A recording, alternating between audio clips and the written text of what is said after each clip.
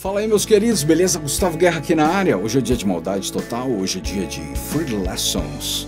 Mas antes de começar as dicas aqui, quero agradecer a todos vocês que acompanham o meu trabalho já durante muitos anos. E você que me conheceu agora, que você é um novo inscrito, obrigado mesmo de coração. Quando eu comecei a tocar, eu sempre tive muita dificuldade. Na verdade, todos nós que começamos a aprender algo novo, que ainda não temos habilidade, temos muita dificuldade. E o meu sonho sempre foi ter destreza no instrumento, técnica, tocar músicas de guitarristas que eu sempre admirei. E eu via que, meu, eu tinha que estudar. Né? Não tinha como fugir disso daí, né? É aquele lance de repetir, repetir, fazer lento, sempre forçando um pouquinho a velocidade para que chegue no contexto que eu queria, né? E eu pensava assim, pô, eu tenho que ficar, no meu caso, minha mão esquerda com bastante destreza. Mas no caso a minha mão direita teria que ser tão precisa quanto a esquerda.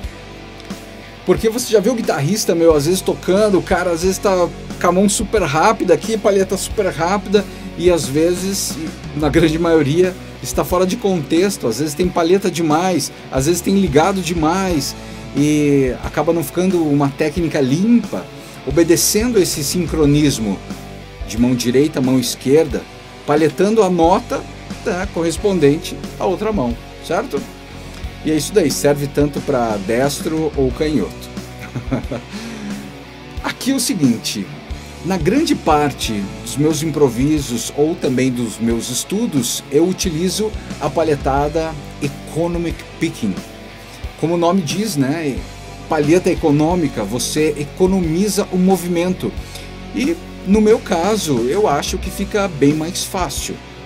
Mas é claro, eu também mesclo muitas coisas com palhetada alternada, no caso baixo, cima, baixo, cima e assim por diante. Mas na grande maioria das vezes é baixo, cima, baixo, baixo. Esse baixo, baixo, na real, é o economic, que é economizar o movimento. A tonalidade desse backing track é Si menor. Logo vou utilizar a escala de Si menor começando a partir da sua terça menor. Se você já conhece um pouco de shapes, você vai ver eu tocar aqui e vai falar: peraí, Gustavo, isso daí é um Ré jônio. O shape pode ser, mas como o backing track, a predominância desse é Si menor, logo soa como Si menor e é uma escala de Si menor, beleza? Aí já é outro assunto tem que estudar intenções modais, conhecer bem intervalos e tudo mais. A escala funciona da seguinte forma, veja lá.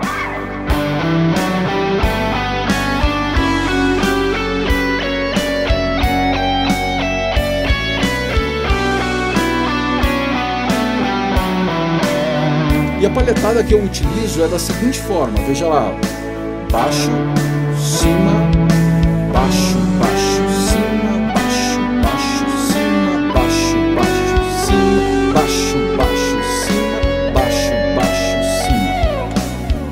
você viu que tem uma economia de movimento quando eu faço baixo, cima, baixo. A próxima, como eu já toquei na corda número 6 a palhetada para baixo, a próxima eu toco para baixo também, que já facilita esse movimento, esse micro sweep. Né?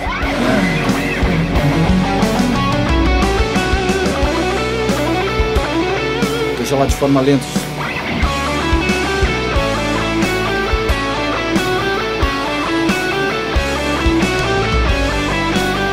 Então aqui eu toquei baixo, cima, baixo, baixo, cima, baixo.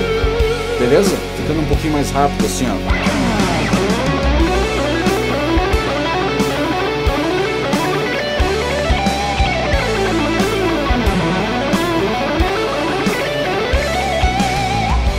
E a volta fica uma sacada bem interessante, porque eu, até um pedaço ela fica alternada, veja lá.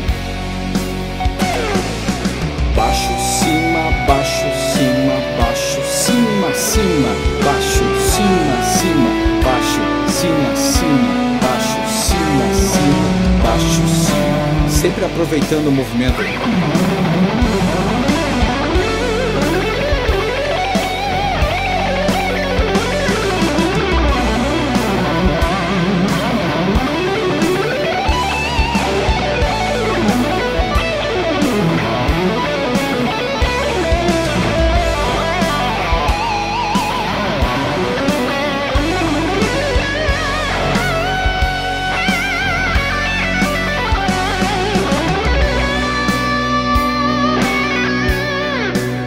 Então essa ideia de você estudar dessa forma vai lhe ajudar muito na sua execução, beleza? Agora, como você já entendeu essa a técnica, como você deve estudar as escalas, existe né, outras concepções que às vezes eu modifico a digitação, às vezes eu pego uma digitação não convencional para que fique mais fácil essa minha técnica do Economic Picking, beleza? Se ainda você não sabe, eu lancei um desafio de 30 dias do Economic Picking, beleza? Vou deixar aqui o link na descrição caso você queira participar desse desafio, desse meu curso do Economic Picking, beleza? Tem uma promoção bem legal para você que é inscrito aqui do meu canal. E agora é o seguinte, Vou disponibilizar esse backing track para você estudar, né, totalmente na faixa, e também vou lhe dar algumas dicas de improvisação. Aqui nesse backing track nós temos quatro acordes. O primeiro acorde si menor, né? Certo? Si menor. O próximo acorde seria um Lá maior. Beleza? O próximo acorde Sol. Agora tem um subdominante aqui, ó, Fá sustenido. Certo? Se você improvisar em Si menor sempre,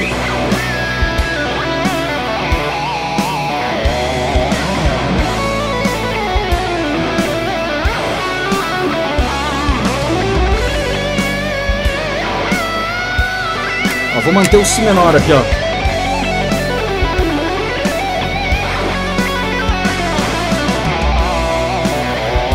Funciona. Agora, se você ficar ligado, neste Fá sustenido, como ele é um subdominante, ele tem, no caso, uma nota diferente da escala de Si menor. Ele tem essa, no caso, Lá sustenido, Si bemol, certo?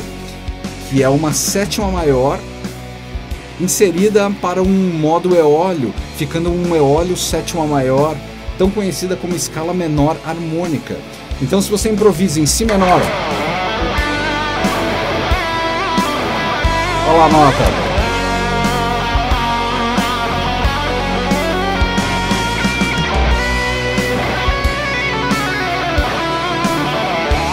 Fica bem interessante, certo? Então na última você usa Si menor harmônico.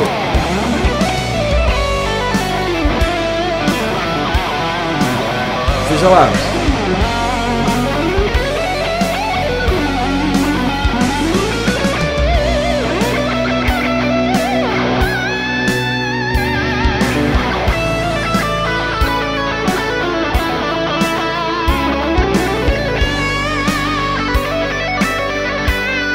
Veja só, só uma notinha.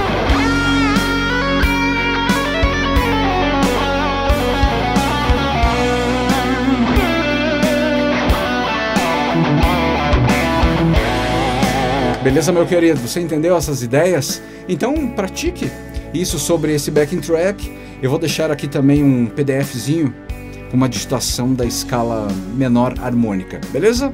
Então se divirta. Desde já, muito obrigado. Se ainda você não é inscrito no canal, se inscreva aqui no canal, meu querido. Conheça meu site também.